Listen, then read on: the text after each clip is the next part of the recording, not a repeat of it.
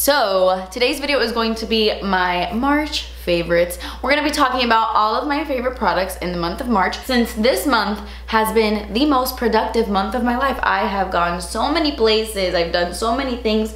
We must have a ton to talk about today. I'm obviously kidding. I know most of us have been home for the majority of the month, but surprisingly, I have a couple things I wanna share with you guys that I was really, really enjoying in March from the comfort of my home. Obviously, I know it's a really scary time right now for all of us. If you saw my recent video, I spoke about it a little bit. It's a very anxious, sad, crazy, crazy time at the moment. And I'm hoping that my videos bring you at least a little form of entertainment or I hope my videos have been a little bit of a getaway for you guys. And even though I admit it seems really weird just continuing beauty videos as if nothing, even though it feels really, really weird to do that, I think it's also necessary for us to have an outlet to really just unwind and try to forget about our problems for a little while. So thank you for being here with me today. Thank you for taking the time to watch this video. Let's talk about some good, good stuff. One thing I wanna mention though, my situation here, what's happening. So I normally film right in front of my computer desk, not, not in front of my vanity. This is my vanity, but I'm trying to figure out this room. I'm trying to figure out what setup works the best. Obviously I prefer having the natural light right in front of me as opposed to behind me, like the windows are right here. So I feel like I look a little washed out in this setup.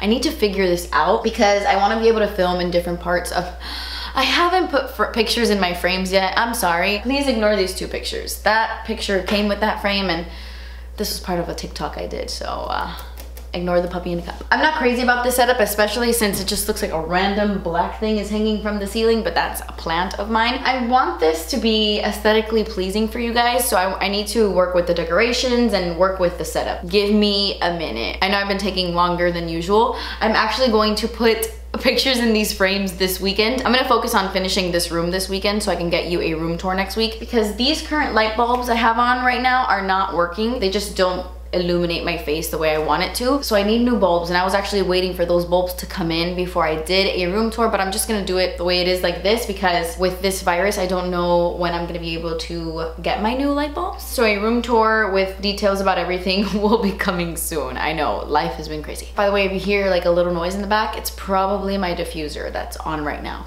So, okay, let's get started. Okay, so I'm gonna start with hair. I have two hair products I really, really wanna talk about. This guy I have been loving for like three months now. I can't get enough of it. I feel like I have to talk about it. I got this off of Amazon and it is a hair scalp massage shampoo brush and I feel like I cannot wash my hair without this now. It's pretty much exactly what it's called. I use this guy to really scrub the absolute crap out of my scalp when I am shampooing my hair. I don't know about you guys, but it's really hard for me to get the buildup out out of my hair with just my fingers. I find myself taking a lot longer in the shower when I am using my fingers. Like if I'm just shampooing regularly like this, I feel like I take longer and my hair isn't as clean as when I use this puppy. This is a godsend, guys. I'll just pour my shampoo either directly onto this brush or directly onto my head and then I will just start massaging my scalp and really getting all up in there and cleaning my head. And it's amazing. Not only does it give your head a really nice massage which massaging your scalp is really good for hair growth and it's like good for like the hair follicle and stuff it gets the shampoo all up in your hair. Like you really really really really clean your head when you use this guy and I love it. And at first I thought this like rubbery bristle situation was gonna pull my hair but once your hair is like soapy and shampooy and wet it just like glides right through your head and it is amazing. I feel like I cannot wash my hair without this thing now.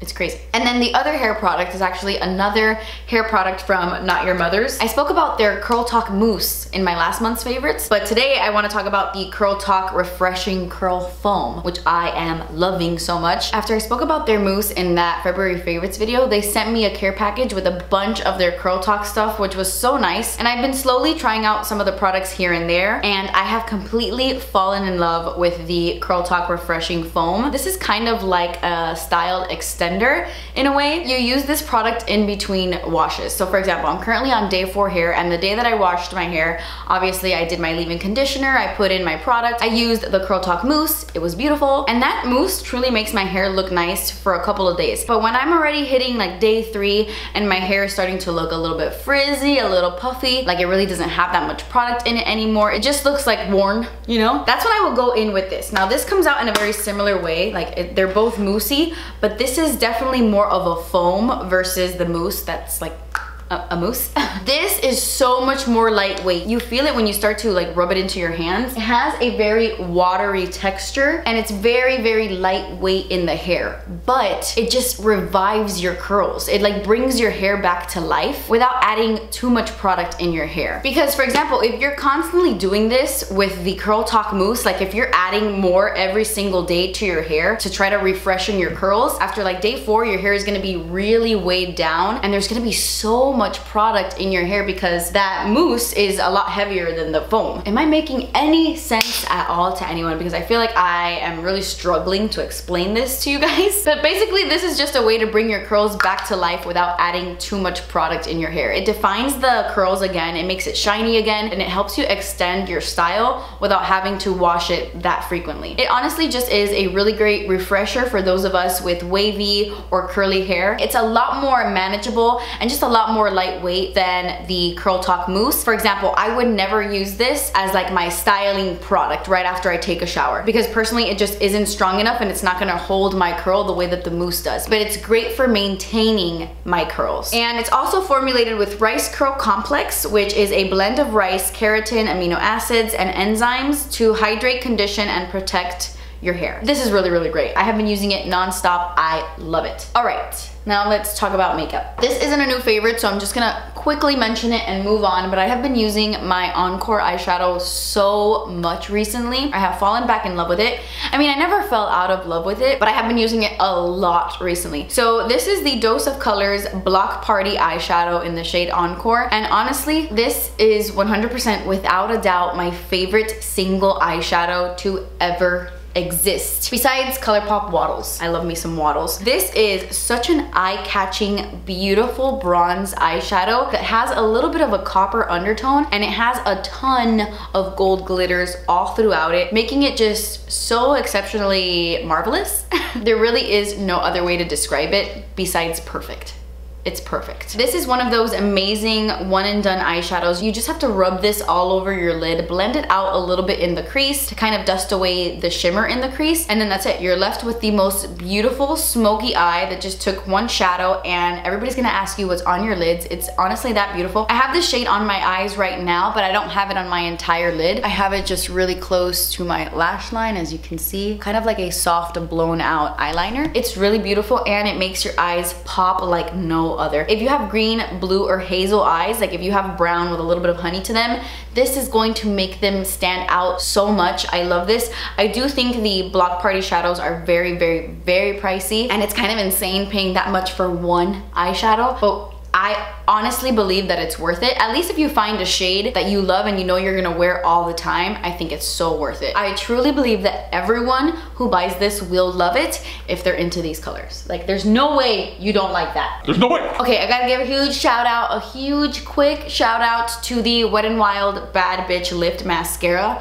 Oh my god, this is the mascara they recently launched in collaboration with Bretman Rock. I tried it out in my Get Ready With Me where I did a full face of new makeup, but I did that whole video in Spanish. I'm actually gonna link it right here if you haven't seen me attempt a whole ass makeup video in Spanish. Not my best work, not my best work. But I did discover an amazing gem in that video and that is this mascara. I cannot get enough of it, guys. It reminds me so much of my Pat McGrath mascara. You, you don't even know, okay? It's so good. It doesn't have the same shape as that one. And actually, I think that's what I love so much about this mascara is the shape. I don't know if you can tell. Let me zoom you in a second. Okay, look at the shape of this. It kind of like curves up here and I feel like that little curve is perfect for pushing up the lashes. It kind of like hugs your eye and it gets every individual lash and it pushes it up. And then I use this side, like once I've curled my lashes and they're nice and up, I use this side to add more length and even more volume and push them up even more. It's a really incredible mascara. I'm wearing it on my eyes right now. I love it so much. It has quickly become one of my favorite mascaras ever and I think this is the best mascara Wet n Wild has ever done and it's so affordable. Obviously it's Wet n Wild so you're not breaking the bank at all but you're getting incredible high-end lashes in my opinion. And it doesn't smudge on your lower lash line at all. Sometimes I'll look at my eyes at the end of the night and I'll have like little gray blackish smudges underneath my eyes and I don't get that with this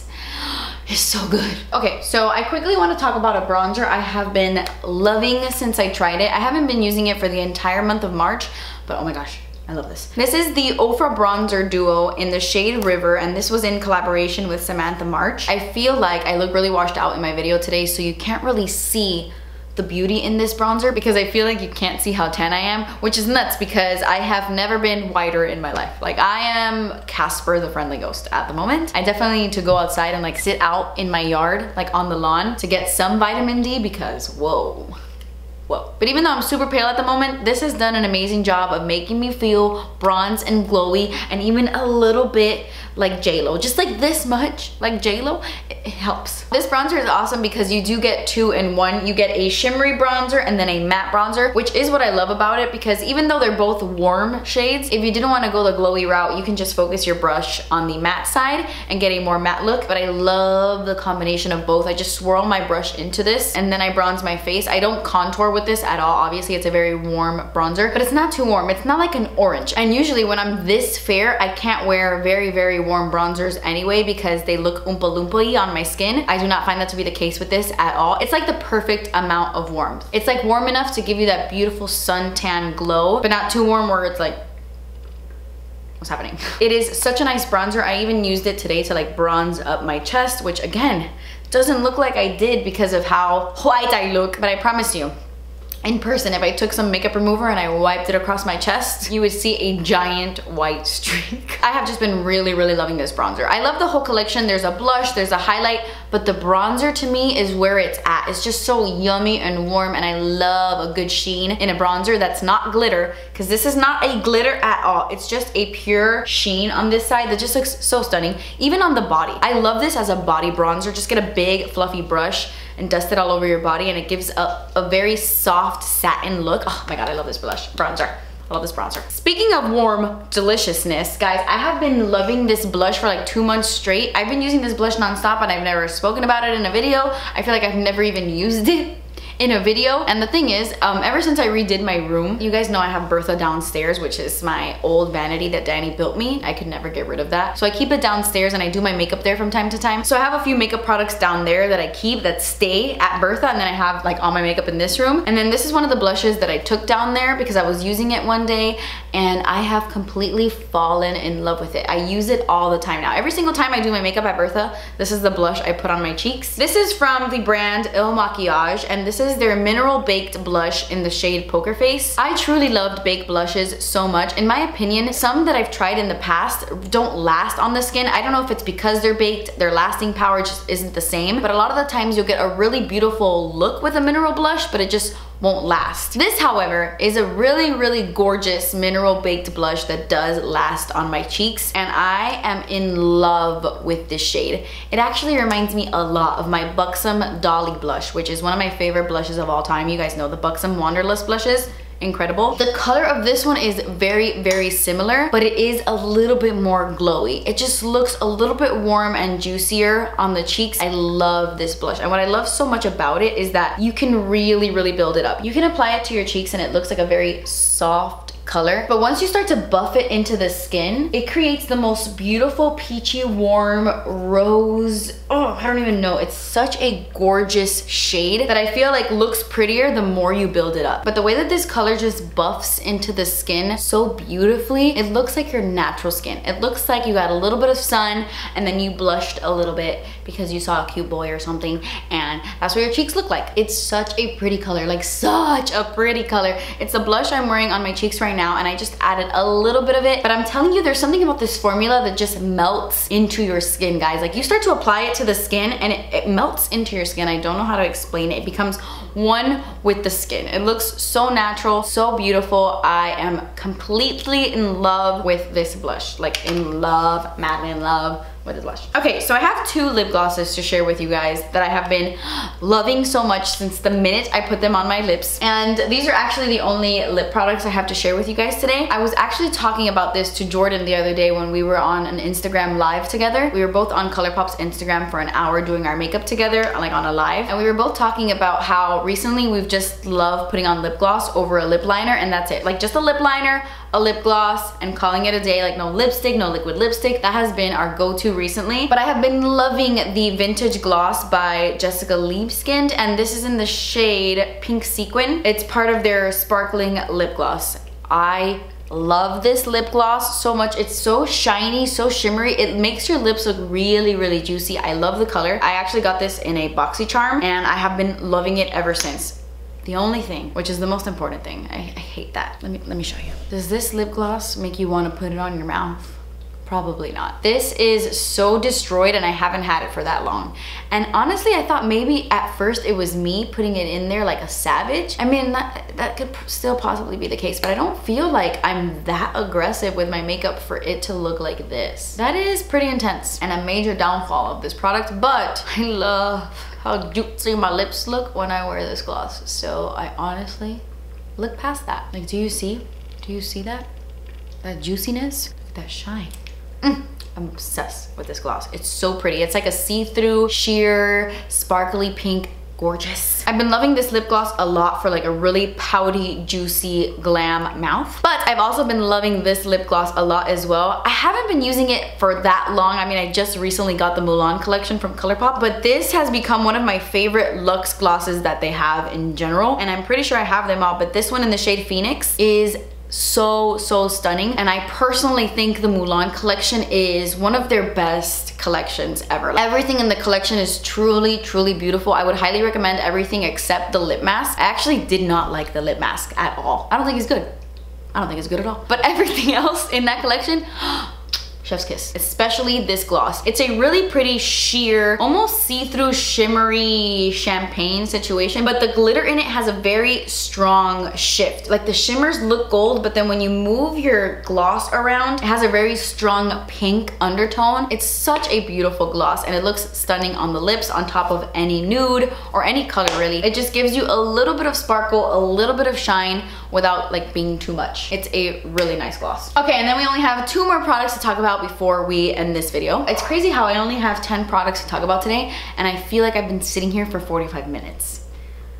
Why do I talk so much? I used to get really good grades in elementary school, but not good conduct grades. And not because I behaved bad, but because I talked too much. Every time a teacher would send home a progress report for me, it would be like, great student, but talks too much. Does all of her work, but talks too much. anyway, I quickly want to mention my love for the Fourth Ray Beauty Rainfall 2% Hyaluronic Acid Serum. I really want to mention this because I'm always going on and on and on and on about how much I love hyaluronic acid and so many of you guys are always DMing me or asking me like, what are my favorite products with hyaluronic acid? How can I incorporate that into my routine? What's the deal? And for that, I honestly say give the Fourth Ray Beauty Rainfall Serum a shot because it's just like pure hyaluronic acid and it is amazing. This is hands down my favorite Fourth Ray beauty product that they make. I do like a lot of Fourth Ray products, don't get me wrong. Like I really like their cleanser, their moisturizer is nice, but there isn't anything in the range that I'm like, that is holy grail. I need that in my life except this. And even their turmeric face milk, actually no, I really like their turmeric face milk.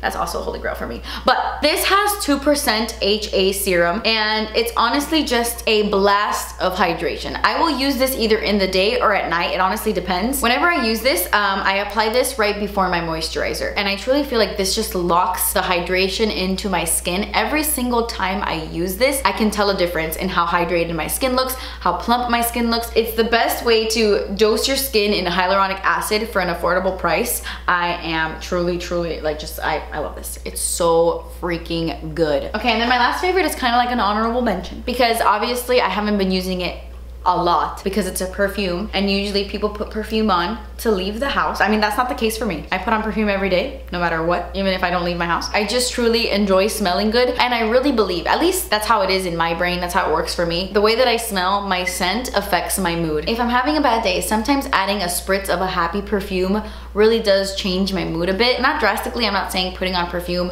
changes the way that I feel, but I love having good, happy, warm, delicious scents around me, no matter what I'm doing, no matter where I'm going, which leads me to my next favorite. I have fallen in love with this fragrance. It reminds me so much of Light Blue from Dolce & Gabbana. This is brown sugar from the brand Fresh. You guys know I love Fresh. Their skincare is really, really nice. But I had personally never tried any of their perfumes before. And the other day I was on Sephora and I was looking at all the Fresh bottles because I think they're so cute. Like I really like the packaging on their perfumes. And I was reading the description of brown sugar and it looked like something I was really gonna like for the spring and summer. So I picked it up and I was totally right. I love this This smells like lemons. This is so good. If you don't like the scent of lemons, you are not gonna like this at all. I mean, it has other sweet scents in there as well, but lemon is the first scent I pick up immediately. This is a very lemony fragrance, but don't get me wrong, it's not like limoncello from Bath and Body Works. It's a very sweet and subtle, beautiful hint of lemon. There's also honeysuckle, tangerine, warm amber, peach nectar caramel, sugared magnolia, a bunch of other really delicious, sweet, fruity scents that it's really just the perfect scent for this time of year. And I know guys, we're not going anywhere.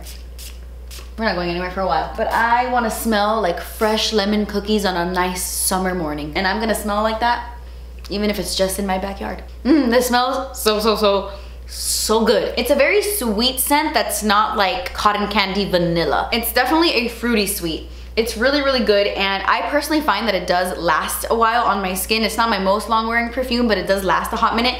The Sol de Janeiro perfume that I just recently bought off of Sephora, their classic cult scent, the one that comes in a body splash, it doesn't last. It does not last. Hold on. This guy. It smells incredible, don't get me wrong, but it doesn't last. I spray this on my body and like an hour later, I swear I don't smell it anymore. And I feel like they made a perfume so that it could last on the skin, but because for that, I'll just buy the body splash. I feel like there's not a difference in wear with this and the body splash. Like they both last the same amount of time on the skin. So I don't know if that's worth it. You might be better off just buying the body splash, honestly. But this little fresh guy, loving. But Anyway guys, that's it. I'm sorry this video was all over the place. I feel like I am scatterbrained today. I can't even begin. Look, Porter's getting up. I know I tell you guys that like at the end of every video, but he's like on command, on cue. I feel all over the place today. And if you guys saw my recent video, like my little vlog, you will kind of understand how I've been feeling recently. Um, but forgive me if I was just a little bit all over the place and not getting my words out in today's video. I tried my best and at least hopefully editing this video will mask all of those mistakes I made while filming. So yeah guys, uh, that completes this video. These were all the products I was loving in the month of March from my home. I have been at my home for almost a full month straight like without leaving at all. I mean, I, I, recently left somewhere to pick up some medication for myself, but that was a super important necessity. Besides that, this is what I've been doing. Just, you know, working from home and uh, praying that this all ends soon. But anyway, guys, I love you guys so, so, so, so, so much. Thank you so much for watching. Please subscribe if you haven't already, and I will see you in my next video. Bye.